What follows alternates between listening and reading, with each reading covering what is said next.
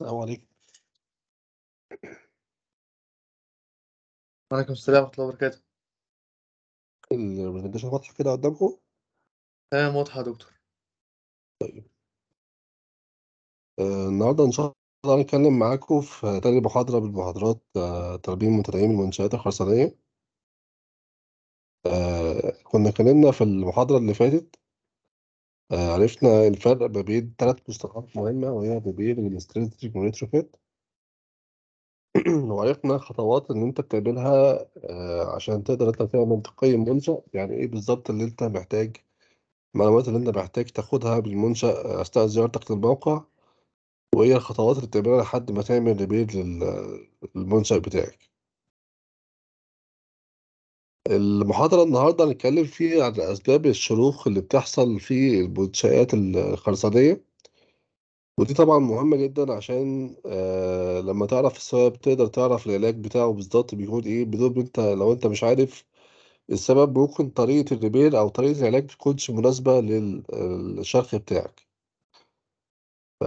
الشروخ عندنا في الخرسانة أشهر نوع من أنواع الشروخ اللي هو ال structure loading اللي هو بيتكون نتيجة عيوب في التصميم أو زيادة في الأحمال عندك على الخرسانة اللي عندك.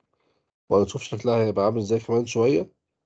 النوع الشهير التاني اللي هو ال corrosion أو الصدى اللي بيحصل في حديد التسليح.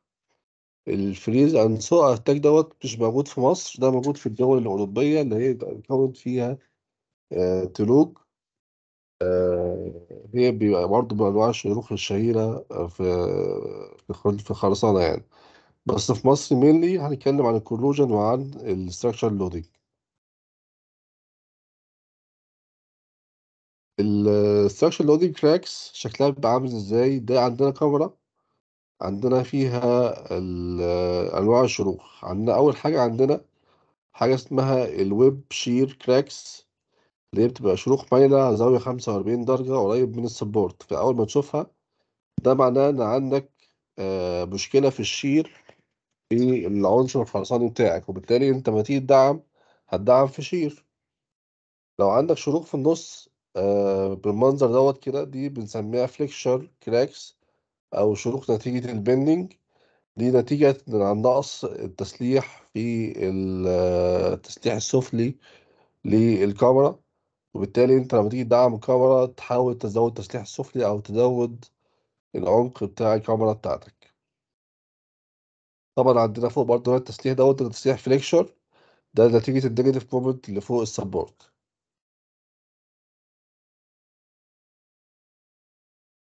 طيب بالنسبة لل slabs الشروخ بالنسبة لل two way slabs نتيجة ال insufficient reinforcement بيبقى شكلها عامل كده. حاجة من الاتنين اللي فوق ديت. one way slab بيبقى شرخ واحد في منتصف البلاطة. ده أنا شفته ده معناه إن عندك في مشكلة في تسليح البلاطة. ال punching shear cracks ودي من أخطر أنواع ال cracks الموجودة عندنا في الخرسانة. آه لأن النوع ال failure ده نوع failure brittle. ده لما بيحصل بيحصل انهيار مفاجئ للخرسانة. آه ده ليه أكتر من شكل ليه شكل A أو B أو C. ده ممكن يكون نتيجة إن العمود القطاع بتاعه صغير أو بلاطة القطاع بتاعها صغير أو محطش تسليح. آه، أنتوا عارفين الكود المصري كان زمان مش بيسمح إن إحنا نحط تسليح لل punching ولكن في التحديث الأخير للكود سمح إن إحنا نسلح البلاطة نحط تسليح لمقاومة ال punching. فقد يكون مفيش تسليح اتحط عشان يقاوم ال punching في الحالة ديت. الشرخ اللي بعده اللي هو ال torsion cracks. ال torsion cracks شبيهة بال shear cracks ولكن هتلاقي شرخ شبه shear cracks في ال elevation ولكن هتلاقي الشرخ مكمل معاك من تحت الكمرة لحد الوش التاني. يعني بتلاقي الشرخ مكمل كده ومكمل كمان في الكمرة من تحت. فأول ما تلاقي شرخ في ال elevation وفي عندك وفي قطاع الكمرة من تحت ومكمل كمان على الوش الناحية التانية ده معناه إن ده torsion crack. بالنسبة للقواعد القواعد الشروخ فيها لو عندك قاعدة منفصلة بيبقى فيها شرخ زي الموجود عندك في الصورة اللي على اليمين كده. لو عندك قاعدة combined footing بيبقى الشرخ في منطقة ال moment اللي عندك آه، في نص ال span أو فوق ال- العمود. آه، دي مناطق دي نتيجة insufficient reinforcement عندك في القاعدة بتاعتك. آه، نيجي بقى برضه نوع من الشروخ الشروخ الشهيرة جدا اللي موجودة عندنا في مصر اللي هو شرخ settlement cracks. آه، شرخ settlement crack دوت ده بيظهر في ال- المباني الطوب عندك بيبقى عبارة عن شرخ مايل بالمنظر ده زي ما عندك في الصورة كده.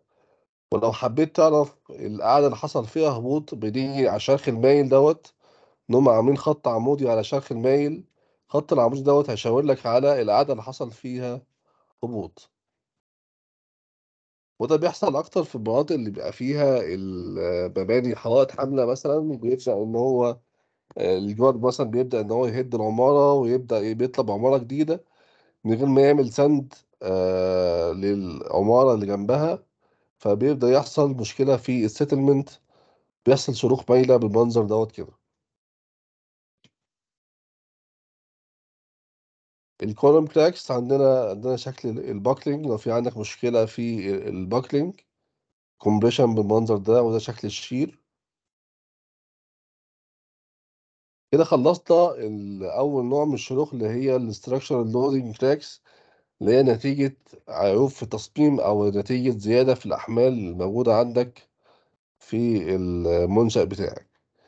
النوع التاني ده نوع برضه مشهور جدا بيحصل في مصر كتير اللي هو ال plastic shrinkage cracks آه وده بيحصل نتيجة إن أنت عندك آه بيحصل loss في المية عن طريق التبخر آه الخرسانة المصبوبة حديثا آه أو عن طريق خرسانة موجودة عندك. يعني أنت لو بتصب مثلا لو أنت بتصب بلاطة خرسانية وعندك تحت البلاطة الخرسانية في عندك بلاطة خرسانية قديمة لازم آه ترش مية أو تعزل ما بين سطحين الخرسانة لأن ال- الخرسانة لو أنت ما عزلتهاش بتبدأ الخرسانة القديمة إنها تشرب المية من الخرسانة الجديدة وبالتالي يحصل لص في المية وبالتالي يحصل عندك كراكس آه اللي بيحصل في في الأسقف عندنا بالمنظر دوت إن أنت لو مثلا سقف عندك لو صبيته لو ما صبيتوش بالليل لو صبيته مثلا في الظهر أو حاجة أو في وقت يكون عندك درجة الحرارة مرتفعة بيحصل تبخر سريع للمية الموجودة عندك في الخرسانة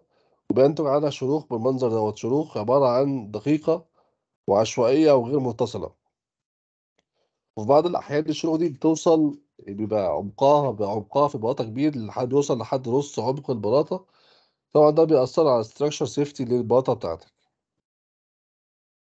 دي حلها إيه؟ حلها إن أنت آه تمنعها إزاي؟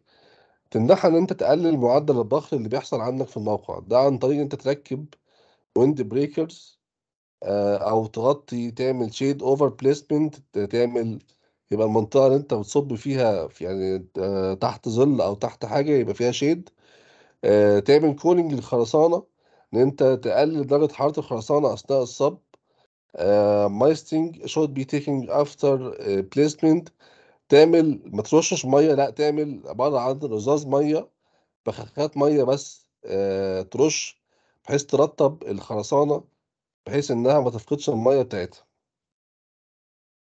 Finally, queuing should be started as soon as is practical. يعني أنت لازم تبدأ معالجة الخرسانة آه، بأسرع وقت ممكن عشان ما ما يكونش عندك نوع دوت من الشروخ وفي منتجات موجودة من سيكا سيكا دي أحد الشركات ال- اللي بتعمل آه، كيماويات بتنتج الكيماويات اللي بتستخدمها في في الإنشاءات.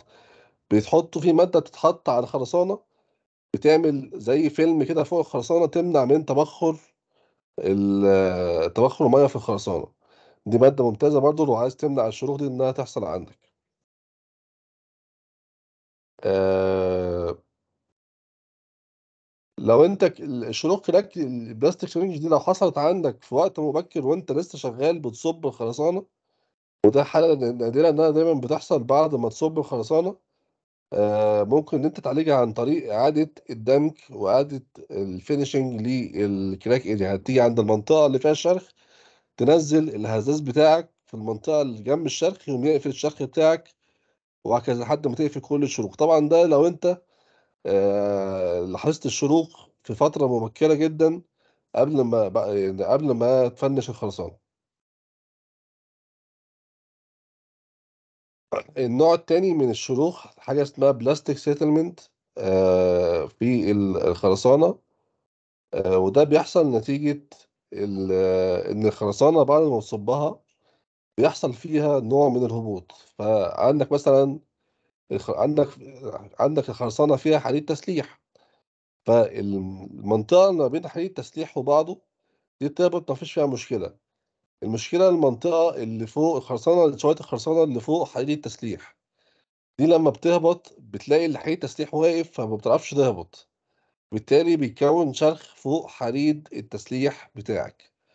فدايما بتلاقي لو انت لقيت شروخ فوق حديد يعني شروخ ماشية مع التسليح بتاعك دي معناها دي نتيجة البلاستيك سيتلمنت عندك اللي بتحصل في أثناء صب الخرسانة كمان ممكن تحصل عن آه في تغيرات ال section اللي عندك section بالمنظر دوت كده عندك سكشن القطاع بتاعه كبير و section القطاع بتاعه آه، صغير. القطاع الكبير دوت هيحصل له هبوط بقيمة كبيرة. الصغير ده هيحصل له هبوط بقيمة صغيرة وبالتالي في فرق هبوط ما بين الاتنين. بالتالي هيكون شرخ في المنطقة الفاصلة ما بين ال section الصغير وال section الكبير.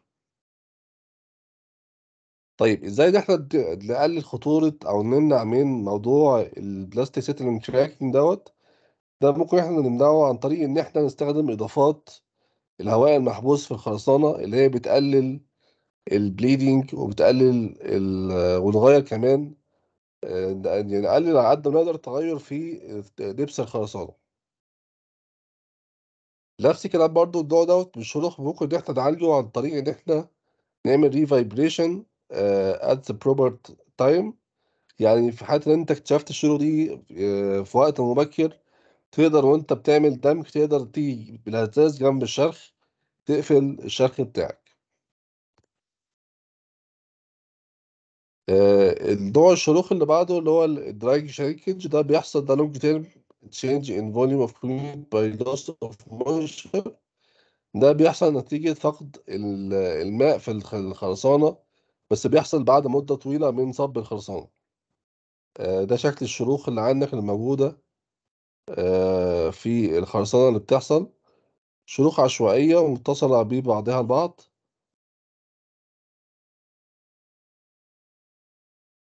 آه، ال- الشروخ دي نقدر إن إحنا نتحكم فيها عن طريق إن إحنا نعمل فواصل حركة. يعني ما نصبش خرسانة آه، مسطحها كبير من غير ما نعمل فيها فواصل. في فواصل اسمها فواصل انكماش تعمل مثلا في الأرضيات الخرسانية دي بتتعمل بهدف إنها تمنع النوع دوت من الانكماش إن هو يحصل عندك. فأنت إزاي نعالج إن أنت تعمل فواصل ما تكبرش؟ يعني أنت ما تكبرش. المسطح الخرسانة اللي أنت بتصبه. تعمل فواصل بحيث دايما المسطح الخرسانة اللي أنت بتصبه يكون أقل من إن هو يعمل لك شروخ في الخرسانة نفس الكلام تحط وكمان تقدر أنت تحط reinforcement بحيث إن هو يعالج الشروخ اللي موجودة عندك في الخرسانة دي النوع اللي بعده اللي هو ال alkali silica reaction أو التفاعل الشروخ اللي عن التفاعل القلوي آه، ركاب. آه ودي بيسموها ال concrete cancer. آه في ال- يعني شبه ال cancer اللي بيحصل للإنسان ده ال cancer بقى اللي بيحصل للخرسانة. آه ده بيحصل نتيجة إن في بعض أنواع من الركام بيبقى آه تقدر بتتفاعل مع القلويات اللي في الأسمنت وبالتالي بتعمل بت- بتطلع منتجات. المنتجات دي حجمها كبير شوية. المنتجات ديت بتعمل لك مع الرطوبة حجمها بيزيد. وبتعمل لك شروخ في المنظر دوت جوه الخرسانة ويبقى الشرخ عبارة عن شروخ متصلة على شكل نجمة. دي شكل الشروخ بتاعة التفاعل القلوي للركاب دي صور تانية برضو لشروخ التفاعل القلوي للركام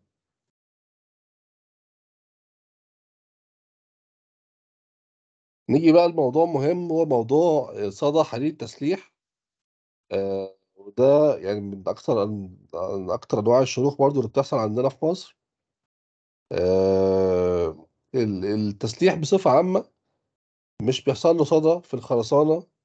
نتيجة إن الخرسانة بتبقى بتعمل آه، بتشتغل كأنها طبقة حماية في للتسليح بتاعنا آه، يعني الخرسانة تعتبر وسط قلوي. فالوسط القلوي دوت بيحمي الحديد التسليح من الصدى. طيب إمتى بقى الحديد بيصدي؟ الحديد بيصدي لما القلوية بتاعت الخرسانة بتبدأ إنها تقل نتيجة ال carbonation اللي بيحصل في آه، الخرسانة. أو نتيجة إن الخرسانة تتهاجم آه، بال chlorides ال chlorides ده موجود مثلا في الجو أو موجود في internal في خرسانة أو موجود بأي صورة ممكنة يعني. بيبدأ بقى يكون عندك ال iron oxide وال hydroxide وليهم حجم أكبر بكتير من حجم الخرسانة حجم التسليح. الزيادة في الحجم دوت بيعمل لك stresses وبيعمل لك شروخ في الخرسانة في عندنا شكلين بيحصلوا من موضوع ال corrosion عندك ال cracking and spalling بيحصل عندك إن بيحصل شرخ بالمنظر دوت في آه، عند حديد تسليح شرخ رأسي. وبيحصل cracking and spalling يعني ال cover بي- بيفصل عن الحديد التسليح بتاعك. ال cover بيقع. تبقى منطقة localized شوية عند حديد التسليح. لو انت عندك المسافة ما بين التسليح مسافة صغيرة هتلاقي في شرخ عرضي ما بي يعني بيربط ما بين التسليح بيعمل حاجة اسمها delamination ال cover كله بيقع. يعني مش بيحصل عندك spalling عند تسليح تسليح واحد ولكن ال cover كله عند في العنصر بتاعك كله بيحصل له delamination ده بيحصل لما ال- اللي بيبقى تسليح قريب قوي من بعضه. ده شكل ال- سلوك الصدى في التسليح آه، بتلاحظ إن الشروخ ماشية مع شكل حديد التسليح يعني مثلا دوت عمود حصل فيه صدى بتلاقي في شرخ رأسي ماشي مع تسليح الرأسي والشروخ أفقية ماشية مع الكنات. فده بيبقى شكل التس... شكل الصدى في الأعمدة. البلاطات نفس الكلام بتلاقي الشروخ ماشية مع شبكة التسليح اللي عندك. بتاعت عندك شبكة تسليح تسليح أفقي وتسليح آه، رأسي. بتمشي معاها الشروخ أفقي ورأسي مع التسليح بتاعك. وبيظهر فيه لون الصدى لون بني شوية بيظهر على سطح الخرسانة دوت اللون اللي هو اللون البني اللي بيظهر على سطح الخرسانة هنا طبعا حصل ديليمينيشن للكفر زي ما شرحنا من شوية نتيجة صدى حديد تسليح طيب إزاي إن إحنا نمنع صدى حديد التسليح؟ نمنعه إن إحنا نعمل خرسانة يكون ليها نفاذية قليلة ويكون ليها cover مناسب يقاوم ال conditions الموجودة عندك. آه، في حالة إن أنت عندك ال severe exposure conditions اللي أنت لو عندك الظروف المحيطة بالعنصر الخرساني عندك severe جدا يعني خطرة جدا تأثر على المنشأ بشكل كبير فيها chlorides بنسبة عالية.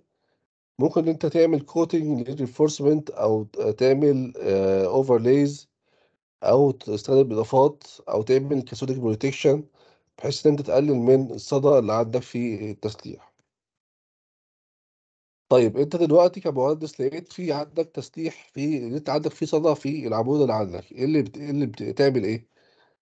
بتشوف الصدى اللي عندك. لو لقيت الصدى بتاعك أقل من 20% بتشيل الصدى ب- يعني بت... بتعمل آه... بتشيل الصدى بتاعك وتستخدم الحديد التسليح بتاعك ما تغيرش فيه حاجة. ده لو أقل من 20% يعني أنت بتشوف مثلا بتشوف قطر السيخ بتاعك. لو لقيت القطر بتاعك نقص أقل من 20% يبقى أنت بت... بتصنفر الحديد بتاعك وتشتغل تاني. بتصنفر إزاي بالفرشة اللي موجودة عندك ديت أو في حاجة اسمها رمالة ديت بالمكنة بنحط فيها الرمل و under high pressure بيبدأ إن هو بتتضخم under high pressure بيبدأ يشيل الصدى بتاعك على مسطحات واسعة. طبعا الرمالة بتبقى effective أكتر من ال- الفرشة السلكي في الصدى. طيب لو أنت عندك صدى لو أكتر من 20% بتشيل الصدى برضه بالرمالة ولكن بتستبدل التسليح اللي موجود عندك. يعني أنت لو عندك مثلا خمس تسياخ موجودة عندك في العمود بتحط خمس تسياخ أو في البلاطة بتحط خمس تسياخ آه، جداد غيرهم جداد في البلاطة. ده لو عندك الأرصاد أكتر من عشرين في المية بنعتبر إن الحديد التسليحي اللي موجود عندك في العنصر مش شغال معانا. آه، دي بعض المنتجات اللي موجودة في السوق ليه؟ عشان تمنع الصدى ده يحصل في الخرسانة. في منتج اسمه من سيكا شركة سيكا اسمه سيكا zinc rich ده تبع شركة سيكا. أو كيمابوكسي 131 تبع شركة كيماويات البناء الحديث أو كونكريسيف ZR تبع شركة باسيف. دول أشهر تلات منتجات موجودة عندنا في السوق. ده دهان بيدهن بيه التسليح بحيث إن هو يحافظ على التسليح من الصدى. يمنع إن هو يحصل صدى في حديد التسليح. آه، كده خلصنا ال- الأسباب الشروخ اللي ممكن تحصل عندك في الخرسانة وعرفنا إزاي إن إحنا نمنعها وإزاي إن إحنا نعالج آه، عرفنا إن إحنا يعني إزاي إحنا نمنع إنها تحصل. آه، هناخد بعد كده إزاي إن إحنا نعالج بقى الشروخ ديت في المحاضرات اللي جاية بعد كده إن شاء الله. في حد عنده سؤال في محاضرة النهاردة؟ لا تمام يا دكتور. تمام. السلام عليكم.